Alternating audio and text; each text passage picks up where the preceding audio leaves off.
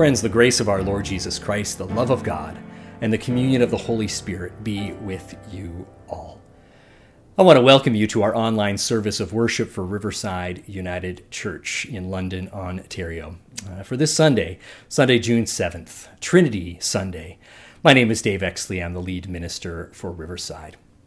Now, this is Pride Month, and as a, an affirming community of faith, we want to share that we are a community that attempts to celebrate what it means to be an affirming church that celebrates diversity, to be a church that celebrates the diversity of sexuality, gender, race, age, differing abilities, and so much more.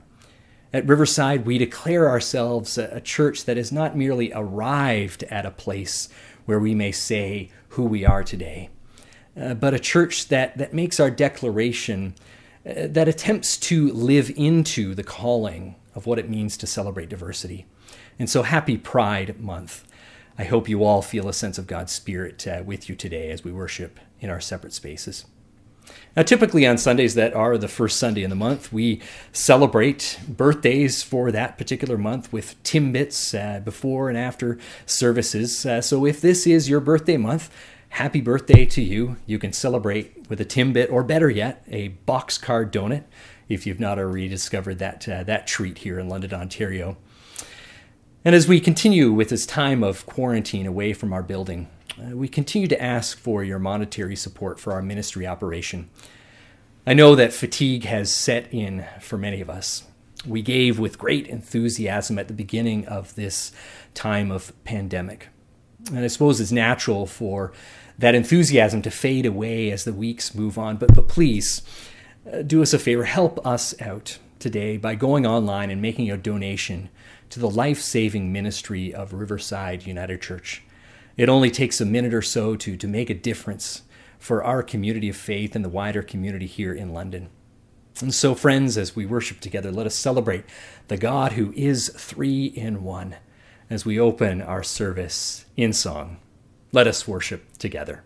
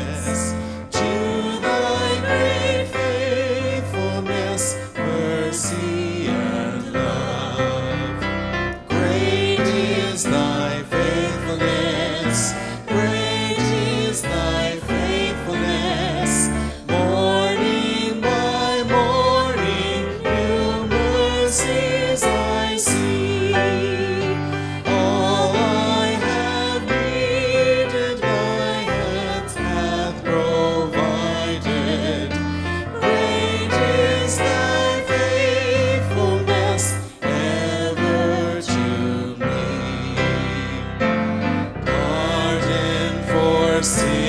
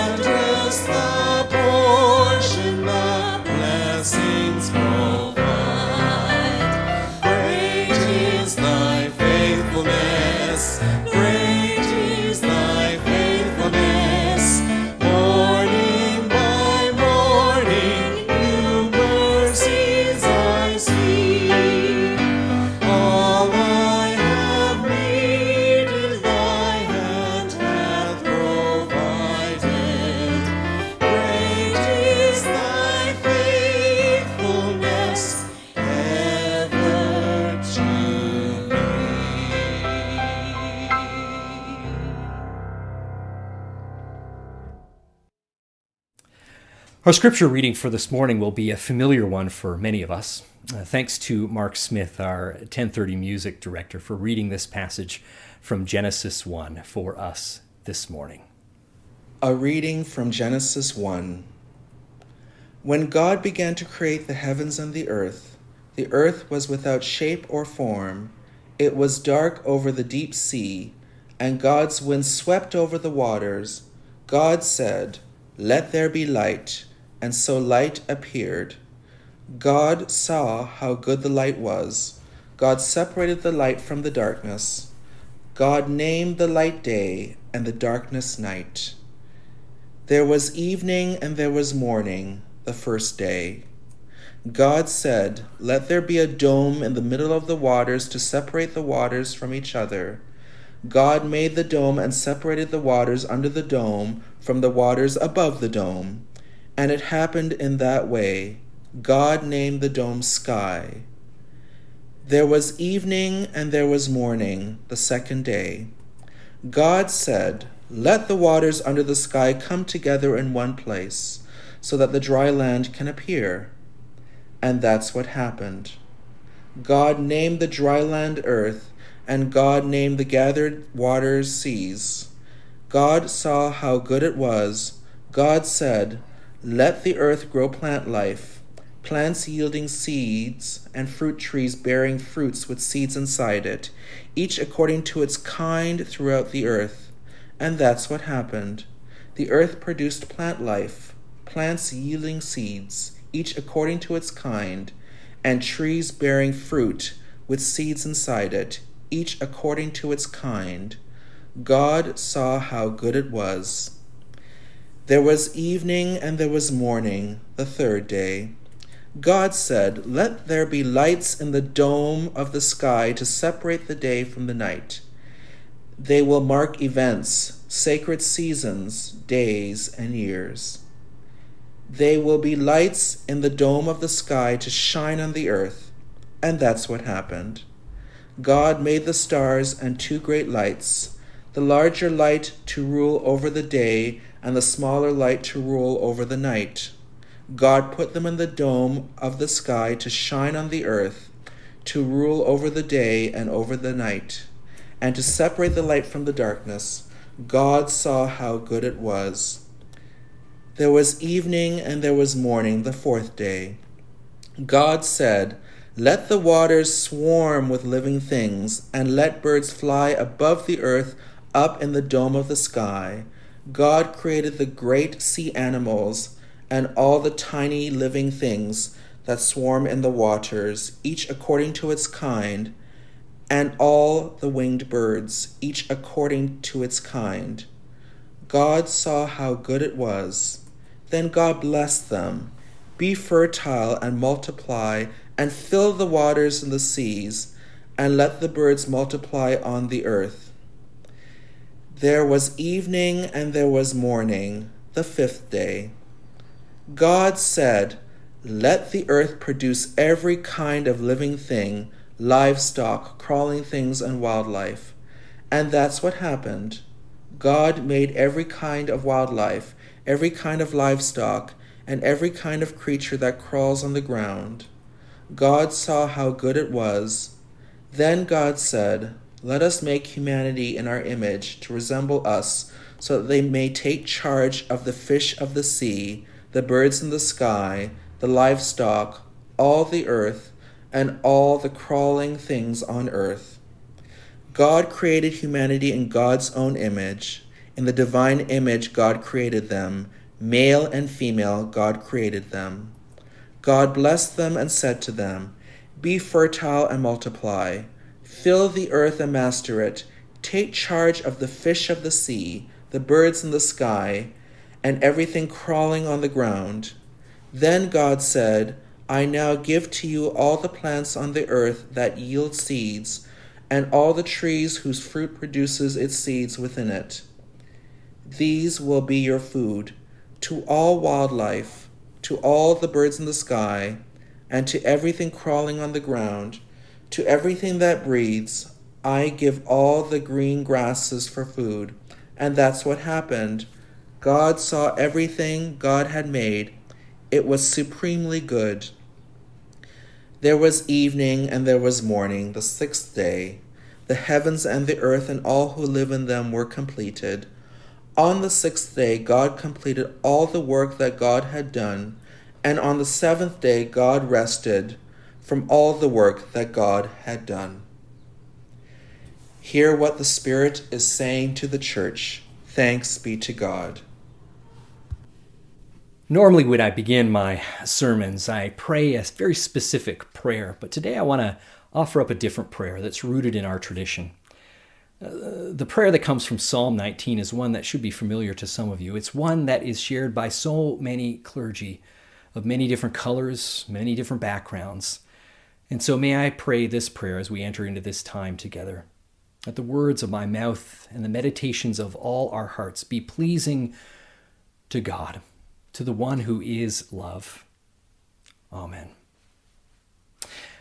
One of the first things you do in seminary when you study the Hebrew Bible, what many refer to in our tradition as the Old Testament, is you look at how the Judeo Christian creation narratives compare to other creation accounts from the ancient Near East. We do this for a number of different reasons. We do this because if we're going to understand our own creation narratives, we must understand what other traditions had to say about the cosmos and how that informed the one that has evolved or the few that have evolved into our own tradition. These ancient Near Eastern creation narratives were, in many ways, unapologetically polytheistic. There were many gods. In the creation story, we see all of these gods, and some of them are very powerful, and others are not very powerful. There's a hierarchy in most of these other narratives. In some of these stories, these gods are aloof and disconnected from the earth, disinterested in humanity. But in others, the gods are actively engaged into the lives of the world and in humanity. In one narrative, a Babylonian myth known as the Enuma Elish, the gods created humans and then later regretted the decision and schemed to destroy the human race because they were too noisy. Interesting story. These deities would battle, kill, enslave, and retaliate against each other and humans. Humans were often caught in the midst of these disputes between the gods. The Israelite tradition is one of the first to portray God and creation in a very different way. Uh, yes, there are still remnants of a pre monotheistic tradition. Uh, just look at verse 26 in the opening chapter of Genesis, where we read, Then God said, Let us make humanity in our image to resemble us. But this is really the, the first narrative, more importantly, to approach the relationship between God and creation, God and humanity, from a very different perspective, to relay it as one of deep connection, deep love, and deep blessing.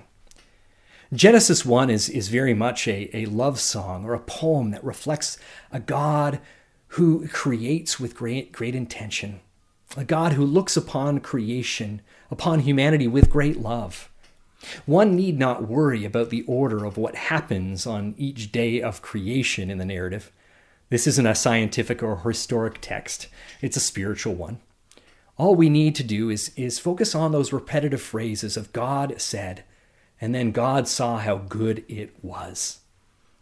And while the concept of Trinity is only vaguely present in the text, uh, the only thing we do see, or the one thing we do see, is this relationship that God is interested between humanity and God.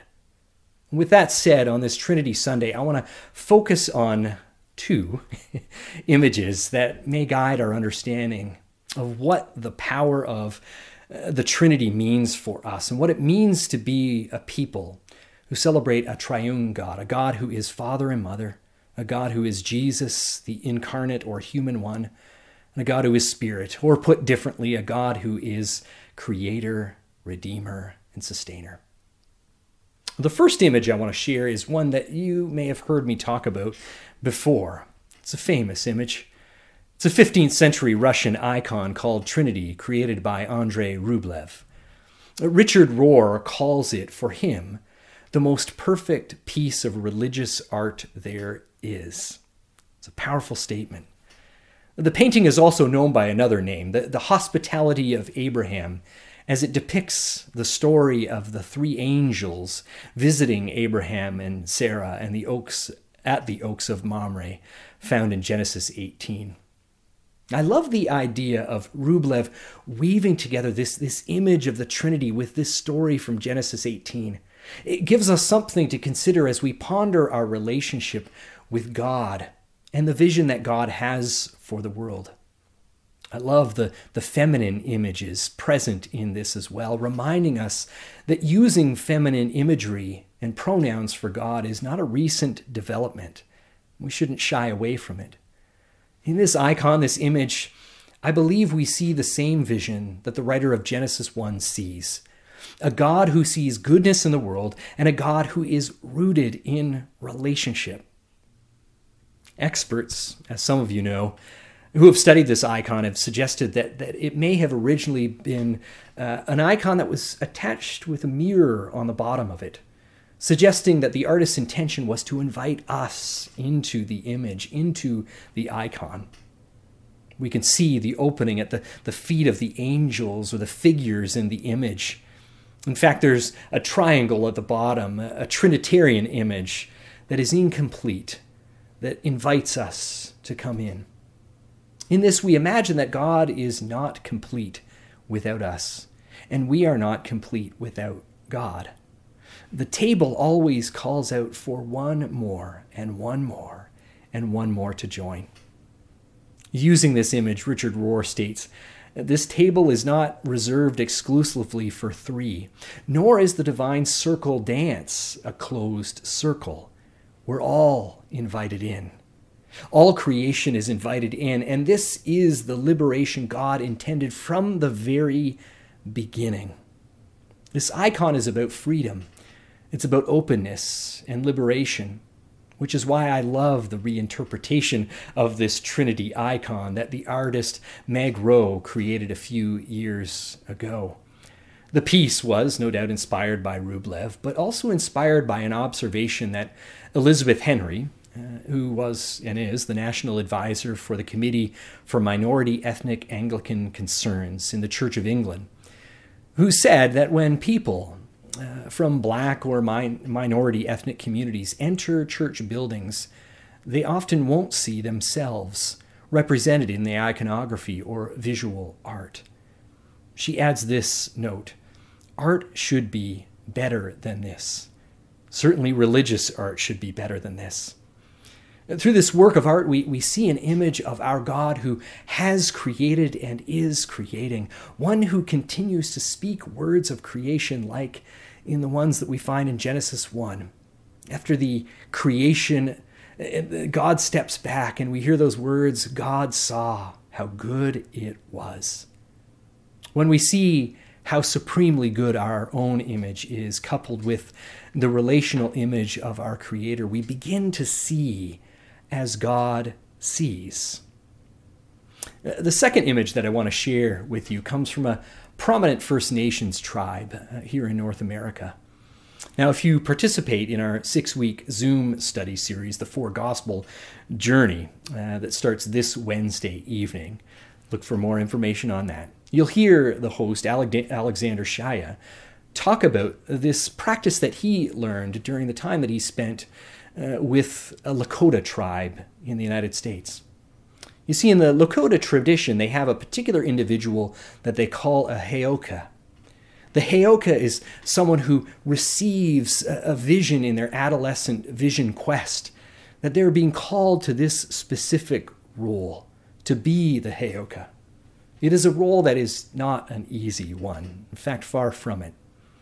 Shaia suggests that, that this role is the most honored and most arduous role of the entire people because the Heyoka is called to enflesh every way, in every way, but and not play acting, but to enflesh in every way being the other.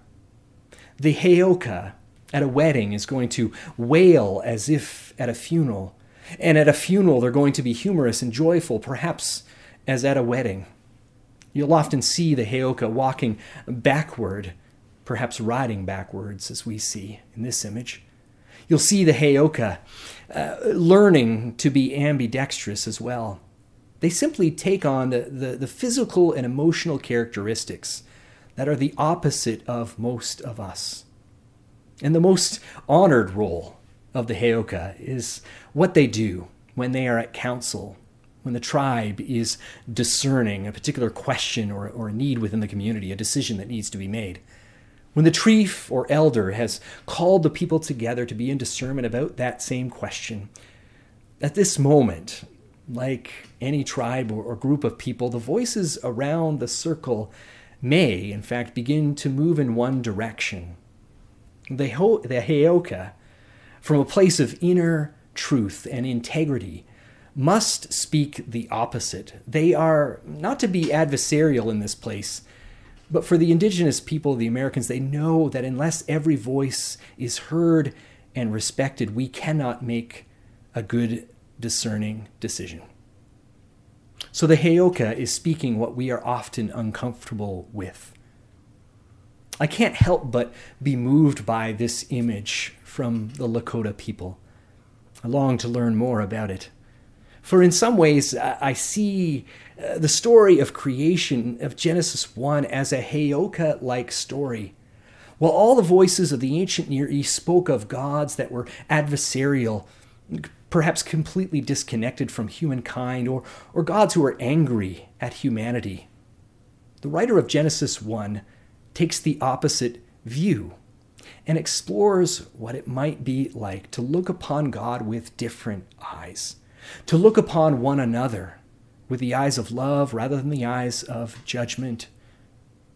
Likewise, I believe that the Trinitarian God we worship, or at the very least, the one who is the one that we attempt to understand, is a God who welcomes the voice of the other.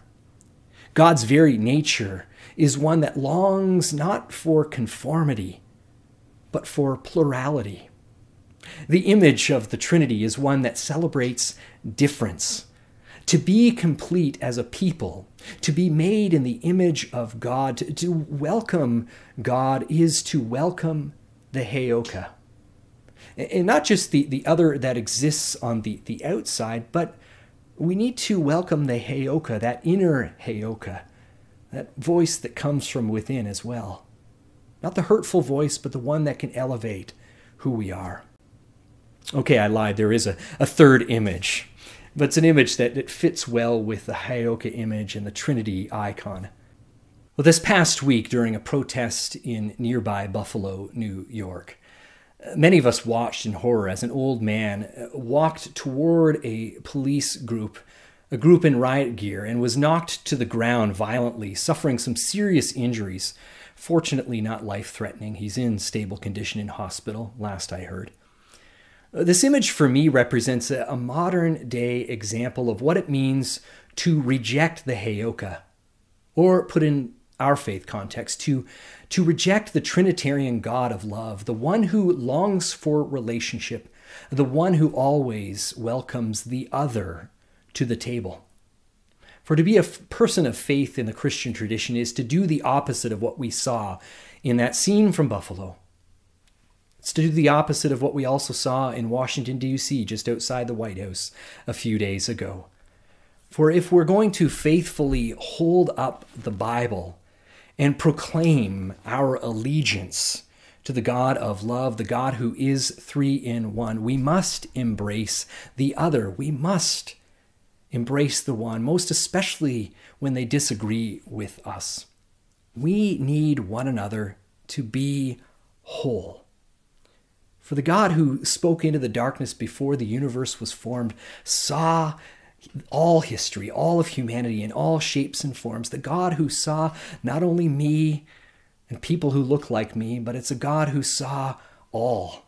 A God who, God who saw my neighbor, a God who saw those who came before me and those who will come after me, a God who sees you, those who look like you and those who look very different from you, and declares the goodness in all creation not just the parts of creation that certain people declare to be good, all of it.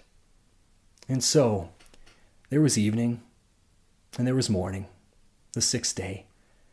The heavens and the earth and all who lived in it were completed. On the sixth day, God completed all the work that God had done, and on the seventh day, God rested from all the work that God had done. And so may we, the ones who live in the light and darkness of that eighth day, learn what it means to honor our relational God. May we welcome the stranger and continue to dream of wholeness along with God and with all creation. Amen. As we move into this time of prayer, let us Hear those words again from Genesis 1, proclaiming the goodness of all creation. Let us enter the dance with our God. Let us walk up to the table with God, joining God. May we summon that inner Heyoka that calls us to hear the voices of difference within this world. And so listen to these words as God makes that holy declaration on us and on others. In the beginning, when God created the heavens and the earth, the earth was a formless void, and darkness covered the face of the deep, while a wind from God swept over the face of the waters. Then God said, Let there be light, and there was light. And God saw that the light was good, and God separated the light from the darkness. God called the light day, and the darkness God called night. And there was evening and there was morning, the first day. And God said, Let there be a dome in the midst of the waters, and let it separate the waters from the waters. So God made the dome and separated the waters that were under the dome from the waters that were above the dome. And it was so. God called the dome sky. And there was evening and there was morning, the second day. And God said, Let the waters under the sky be gathered together into one place, and let the dry land appear. And it was so. God called the dry land earth, and the waters that were gathered together God called seas. And God saw that it was good. Then God said, Let the earth put forth vegetation, plants yielding seed, and fruit trees of every kind on earth that bear fruit with the seed in it. And it was so. The earth brought forth vegetation, plants yielding seed of every kind, and trees of every kind bearing fruit with the seed in it. And God saw that it was good. And there was evening, and there was morning, the third day. And God said, Let there be lights in the dome of the sky to separate the day from the night. And let them be for signs and for seasons, and for days and years. And let them be lights in the dome of the sky to give light upon the earth. And it was so. God made the two great lights the greater light to rule the day, and the lesser light to rule the night, and the stars. God set them in the dome of the sky to give light upon the earth, to rule over the day and over the night, and to separate the light from the darkness. And God saw that it was good. And there was evening, and there was morning, the fourth day. And God said, Let the waters bring forth swarms of living creatures, and let birds fly above the earth across the dome of the sky. So God created the great sea monsters and every living creature that moves, of every kind, with which the waters swarm, and every winged bird of every kind. And God saw that it was good. God blessed them, saying, Be fruitful and multiply, and fill the waters in the seas, and let birds multiply on the earth. And there was evening and there was morning, the fifth day. And God said, Let the earth bring forth living creatures of every kind, cattle and creeping things, and wild animals of the earth of every kind. And it was so. God made the wild animals of the earth of every kind, and the cattle of every kind, and everything that creeps upon the ground of every kind. And God saw that it was good. Then God said, Let us make humankind in our image, according to our likeness, and let them have dominion over the fish of the sea, and over the birds of the air, and over the cattle, and over all the wild animals of the earth, and over every creeping thing that creeps upon the earth. So God created the human, humanity, Adam, in God's image. In the image of God, God created him, it, male and female, God created them. God blessed them, and God said to them, Be fruitful and multiply, and fill the earth, and subdue it, and have dominion over the fish of the sea, and over the birds of the air, and over every living thing that moves upon the earth. God said, See, I have given you every plant yielding seed that is upon the face of all the earth, and every tree with seed in its fruit. You shall have them for food. And to every beast of the earth, and to every bird of the air, and to everything that creeps on the earth, and everything that has the breath of life, I have given every green plant for food. And it was so. God saw everything that God had made, and indeed, it was very good. And there was evening and there was morning, the sixth day. Thus the heavens and the earth were finished, and all their multitude. And on the seventh day, God finished the work that God had done, and God rested on the seventh day from all the work that God had done. So God blessed the seventh day and hallowed it, because on it God rested from all the work that God had done in creation. These are the generations of the heavens and the earth when they were created.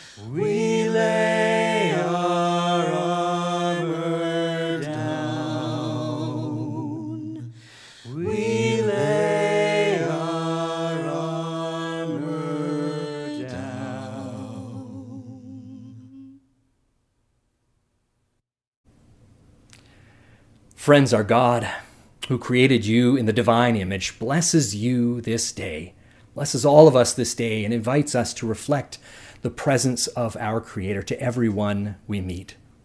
Jesus, who has redeemed us, blesses us and invites us to bring healing to this broken world. The Holy Spirit, who calls us to be God's people, blesses us and invites us to tear down the walls that divide us and to build lives of hope for all God's children. Friends, may the peace of the rolling river be with you. May the peace of the silent mountains be with you. May the peace of the singing stars go with you, and the deep, deep peace of the Prince of Peace be with you now and forevermore. Amen.